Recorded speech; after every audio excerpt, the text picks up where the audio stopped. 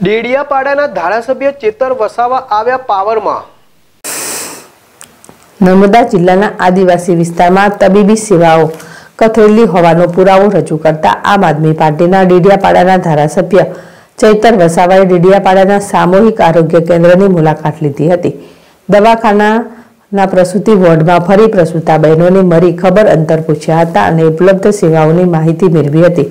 તેમણે આશ્ચર્ય વ્યક્ત કરતા જણાવ્યું હતું કે ડેડિયાપાડા અને ખાતે છેલ્લા બે વર્ષથી સરકારી દવાખાનું બનીને તૈયાર હોવા છતાં તેનું ઉદ્ઘાટન જ કરાયું ન હતું.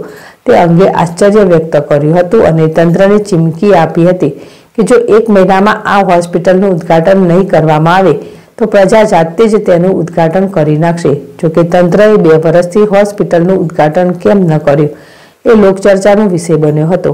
સરકારી દવાખાનાની નવીન ઇમારત છતાં તેનું લોકાર્પણ કરવામાં ન આવતા આ વિસ્તારના ગરીબ આદિવાસીઓની તબીબી સારવાર માટે ભારે તકલીફો ભોગવવી પડતી હોવાનું પણ જણાવ્યું હતું.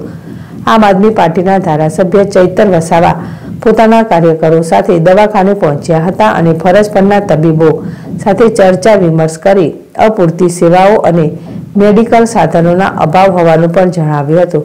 ચૈતર વસાવાએ આશ્ચર્ય વ્યક્ત કરતા જણાવ્યું હતું કે હાલ ડેડિયાપાડા ખાતેના આરોગ્ય કેન્દ્રમાં ઓગણીસો છ્યાસીના મોડલનું એક્સરે મશીન છે.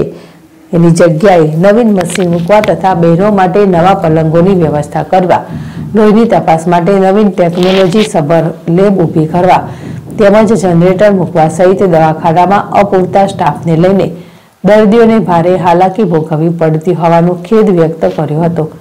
એ ઉપરાંત હોસ્પિટલમાં મેડિકલ ઓફિસર સહિત ગાયનેક તેમજ દવાખાનામાં મંજૂરી સ્ટાફની ભરતી, જરૂરી સ્ટાફની ભરતી કરવા સહિતની માંગણીઓ સંદર્ભે પોતે પ્રાંત અધિકારી સાથે ચર્ચા વિમર્શ કરશે એમ પણ જણાવ્યું હતું.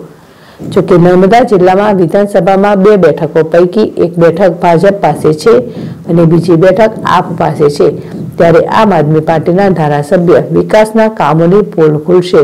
ત્યારે સત્તાધારી પક્ષને હવે એલર્ટ રહેવું પડશે. તો બીજી તરફ ગુજરાતમાં ભાજપની સરકાર છે, ત્યારે આમ આદમી પાર્ટીના ધારાસભ્યનો અવાજ તંત્ર સુધી કેટલો પહોંચશે અને તંત્ર આ મુદ્દાને કેટલી ગંભીરતાથી લેશે એ હવે જોવું રહ્યું. દીપક જગતાપ, જેડેશ ટીવી, રાજપીપળા.